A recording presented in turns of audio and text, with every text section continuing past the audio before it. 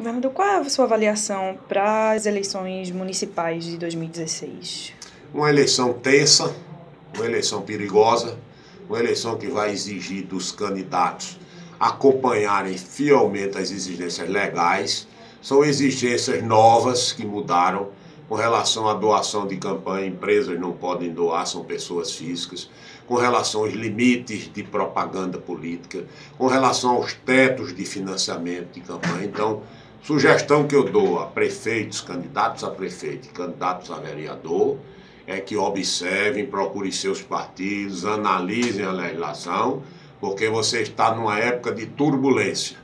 no sentido de turbulência nacional, por força de má aplicação de recursos, vinculações de campanhas políticas passadas com fatos condenáveis do ponto de vista legal, um Ministério Público atuante, uma Polícia Federal atuante, a sociedade cobrando, então será uma eleição difícil que vai exigir muito, tanto da parte do eleitor quanto da parte do que pretende ser representante a nível de prefeitura, vice-prefeito e vereadores.